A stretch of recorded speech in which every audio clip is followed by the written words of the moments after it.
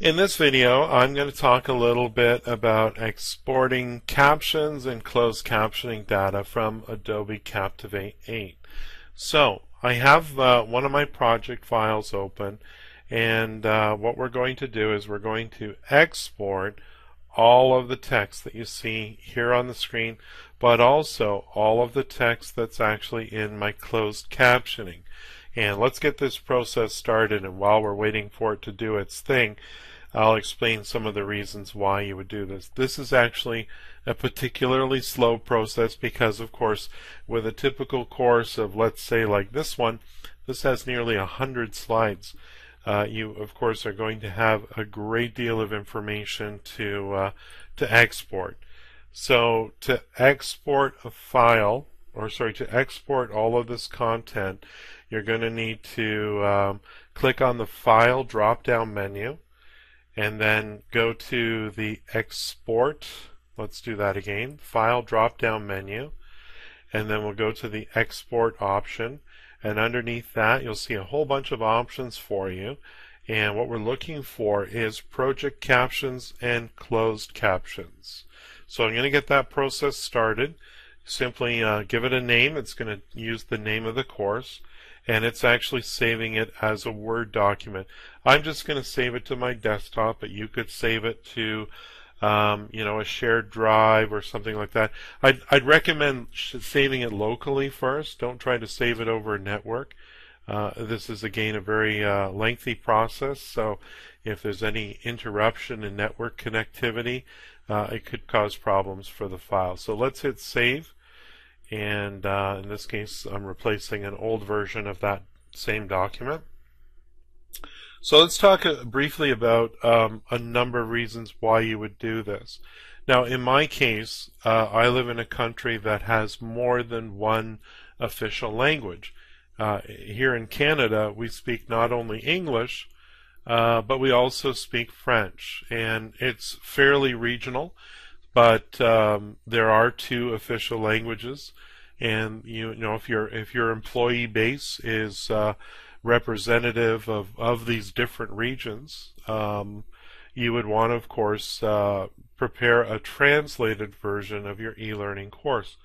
Uh, another example uh, similar to Canada could be the United States. There's a very large Spanish speaking population and in certain parts of the United States, Spanish is spoken more than English is.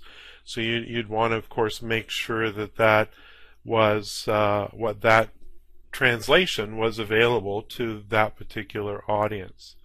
Another reason you might want to export your project captions and closed captioning is from an editing perspective although Adobe Captivate certainly has um, a fairly sophisticated search and replace functionality as well as a spell check functionality, some people are just more comfortable in Microsoft Word and there may be certain advantages to exporting all of the content of your course into Microsoft Word, you know, and, and simply check for your spelling and grammar.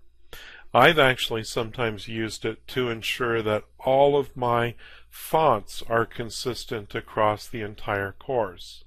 Uh, for example, early in my career, I had prepared a course, and, and unbeknownst to me, um, there were a few um, examples of where I was using a different font.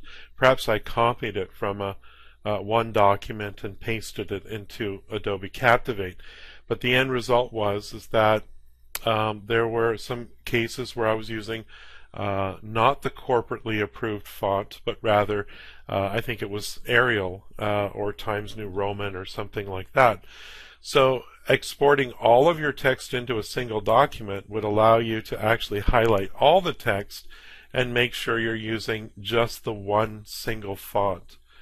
I've also do this done this before to uh, to make sure that the font sizes and colors are uh, are aligned with one another as well. The other thing you might want to do is you may want to provide a text-only version of your course in addition to the course itself uh, to people who are reviewing the course. And that way, if they spot anything like maybe something that's uh, not said correctly or a reference to something that might be inappropriate, they can actually highlight it in the document itself. Um, I'm going to actually fast forward at this point. As I've indicated, this is a very long process, and I could be sitting here for quite some time. Uh, I really have no other explanations as to why you would want to do this, but I've given you a few examples to think of. So I'm just going to stop talking at this point and allow this process to complete on its own. And then we'll catch up once it's back uh, finished exporting. Okay, so the captions were successfully exported into Microsoft Word. And of course, Adobe Captivate is asking me if I would like to view this document. Uh, I'm going to go ahead and say yes to that. And that just takes a moment to load in your copy of Word, in this case, Word 2013. Now, when I design e-learning courses, I use a lot of smart objects with fairly darker colors and quite often use white text for those smart objects. And you can see some examples of that right here.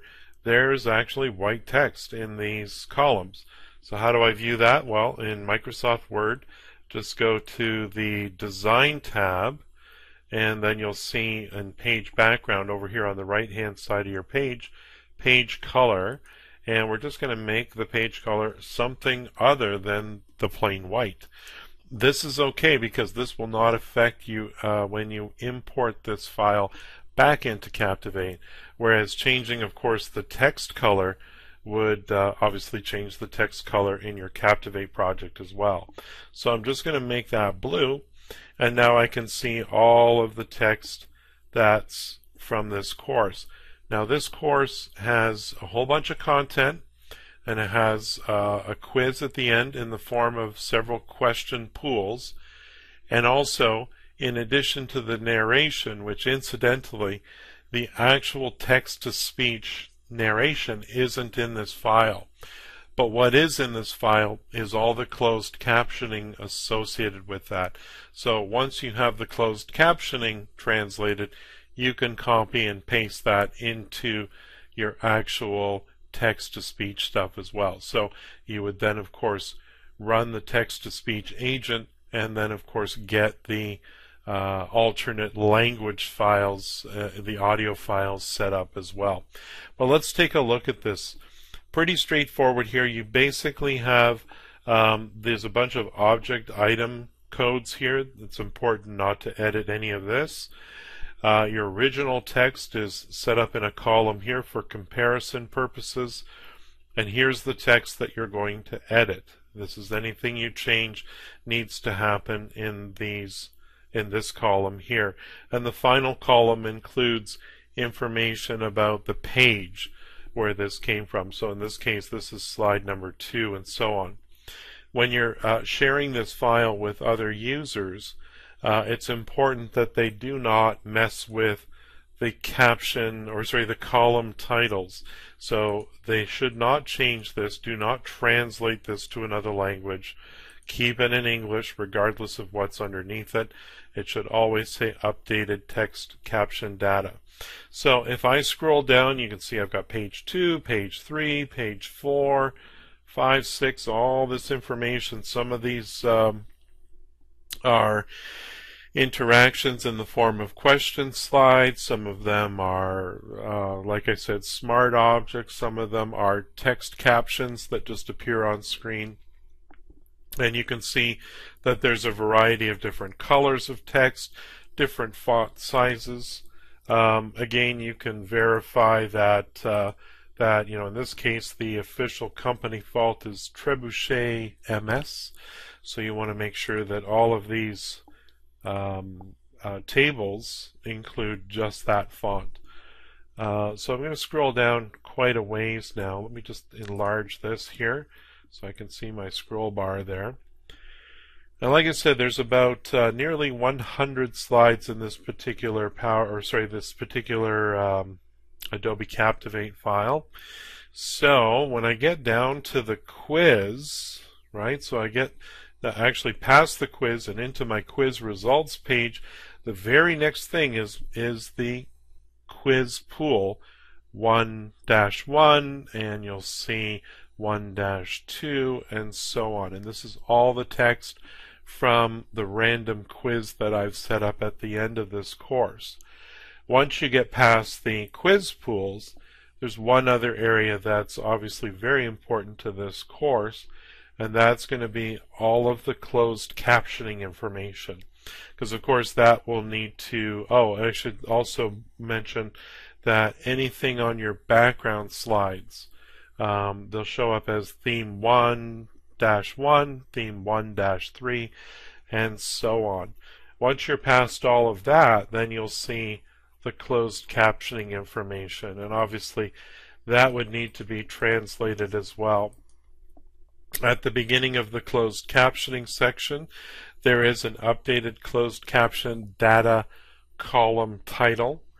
Again, it's important that if someone is editing this document that they leave that alone.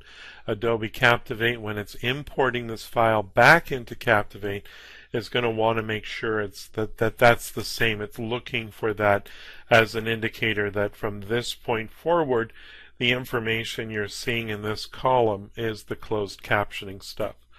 So again, you could be using this to translate to another language. You could be sharing this file with uh, you know your stakeholders or subject matter experts for their review purposes. Uh, perhaps your company uses someone who uh, edits all the company documents for grammar and spelling and punctuation. They might have um, a requirement that you run this material through them. So that's pretty much it. That's the, the document. Once you've made whatever changes that you've made, then of course you can save this file.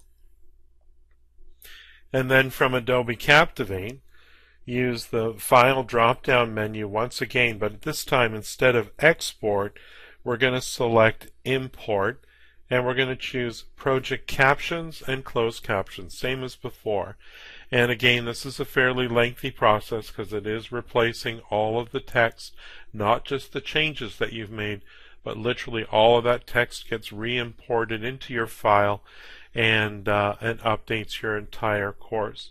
I do recommend that you review the course once again once you've done this to make sure that uh, that the text has come in um, as intended. You're not thrown off with any strange margins or any strange uh, alignment issues. Um, but that's pretty much the process. It's pretty straightforward and pretty easy. Guys, if you like the videos that I'm producing, I recommend that you subscribe to my channel. And if you like this video in particular, don't hesitate to give me a thumbs up.